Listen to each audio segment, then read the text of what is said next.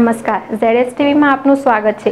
હું મોદી શિવાંગી. આગળ વાત કરીએ તો, દાહોદની એપીએમસી માર્કેટ સુરક્ષાની શરતો સાથે શરૂ કરાઈ. ખેડૂતો પોતાનો અનાજનો જથ્થો લઈને આવી પહોંચ્યા. છવ્વીસ દિવસ બાદ માર્કેટયાર્ડ શરૂ થયા છે. સરકારે સુરક્ષાની શરતો સાથે માર્કેટયાર્ડ શરૂ કરવાની મંજૂરી આપી છે. ત્યારે દાહોદની એપીએમસી માર્કેટયાર્ડમાં ખેડૂતો પણ પોતાની ઘઉંની જણસી સાથે પહોંચ્યા હતા. જ્યાં માર્કેટયાર્ડના દરવાજા પર જ કોરોનાના લક્ષણોની તપાસ, ટેમ્પરેચર ગન દ્વારા તપાપ, તાપમાનની ચકાસણી કરીને જ માર્કેટયાર્ડમાં ખેડૂતોને પ્રવેશ આપવામાં આવી રહ્યો હતો. તો માર્કેટયાર્ડની અંદર પણ સુરક્ષાની ખાસ વ્યવસ્થા કરવામાં આવી છે. ખેડૂત કોરોના સર્કલમાં જ રહીને માલનું વેચાણ શકશે. તેટલું જ નહીં, માર્કેટયાર્ડમાં આવતા વેપારીઓ ખેડૂતો અને પોર્ટર પણ મોઢા પર માસ્ક કે રૂમાલ ફરજિયાત રાખી રહ્યા છે. દાહોદની એપીએમસી માર્કેટયાર્ડમાં વેપારીઓ અને ખેડૂતોએ વેપારની શરૂઆત સુરક્ષા સાથે કરી છે અને સોશિયલ ડિસ્ટન્સનું ભંગ ન થાય તે પણ ધ્યાન રાખ્યું છે. દાહોદની એપીએમસી માર્કેટયાર્ડ શરૂ થતાં આજે માર્કેટયાર્ડમાં એકસો વીસ જેવા ખેડૂતોએ રજીસ્ટ્રેશન કરાવ્યું હતું. પરંતુ શરતોને આધીન. સ્વ ખેડૂતોને જ માર્કેટયાર્ડમાં પ્રવેશ આપવામાં આવ્યો હતો અને આવતીકાલે બીજા ખેડૂતોને પ્રવેશ આપવામાં આવશે.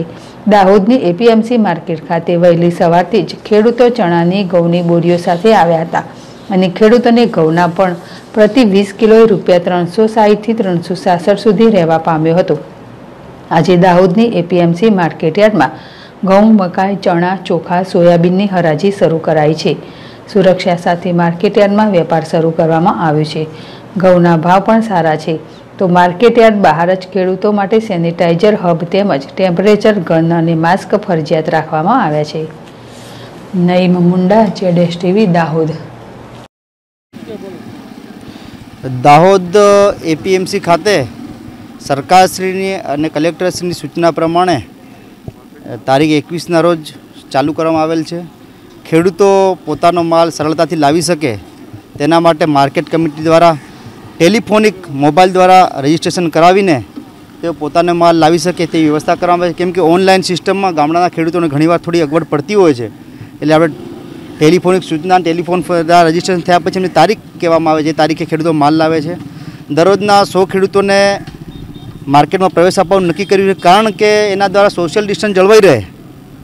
અને જે કોરોનાનો જે હમણાં ફેલાવો થાય એને રોકવા માટેનો એક પ્રયત્ન કહેવાય અને એ તરફ અમે પગલાં ઉપાડ્યા છે. માર્કેટના ગેટ પર સેનિટાઇઝેશન સિસ્ટમની પણ ટનલ બનાવવામાં આવેલી છે. શાક માર્કેટ ખાતે પણ વ્યવસ્થા છે. અને ખેડૂતો પ્રવેશ કરી અને માસ્ક ફરજિયાત છે. માર્કેટમાં કોઈ પણ ખેડૂત પ્રવેશ કરે ત્યારે માસ્ક પણ પહેરવાનું ફરજિયાત રાખ્યું છે.